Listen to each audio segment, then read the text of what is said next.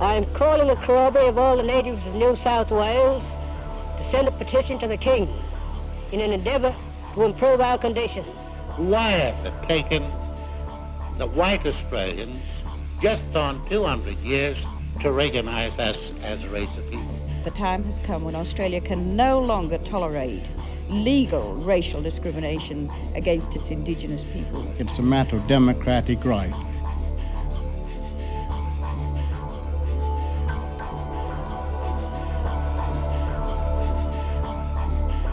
In celebrating the success of the 1967 referendum,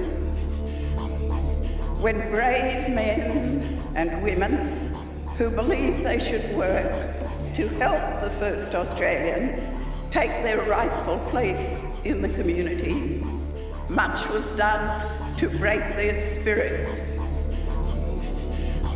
But single mindedly and with the drain of commitment weighing heavily upon them, set their eyes on the goal ahead.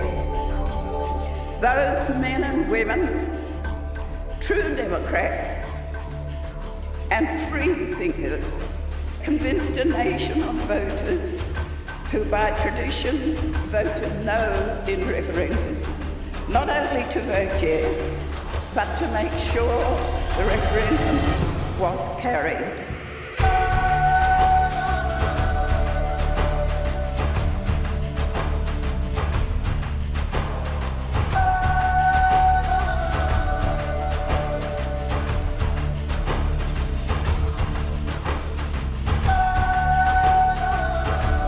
They're the ones that caused the trouble in this town. Run them out and they'll be Put them out of town.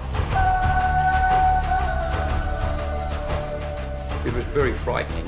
I mean, I got belted with eggs and sand and punched and pushed and shoved. But what happened was we really just took the young Aboriginal girls and boys into the swimming pool where they were not allowed to go in after a certain time. We further declare that reconciliation and the renewal of the nation can be achieved only through a people's movement.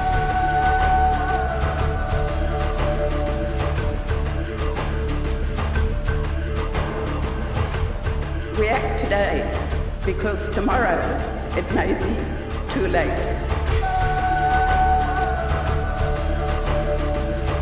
It is up to each one of us to commit to finding the lighted path of lasting reconciliation.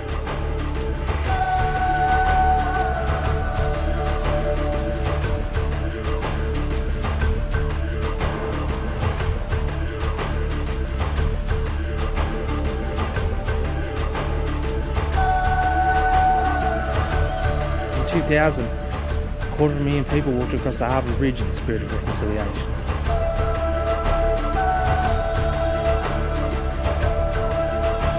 And I beg you to listen. Listen to those whispers in your heart and let them bellow out for a better future. A future that's steeped in the spirit of reconciliation.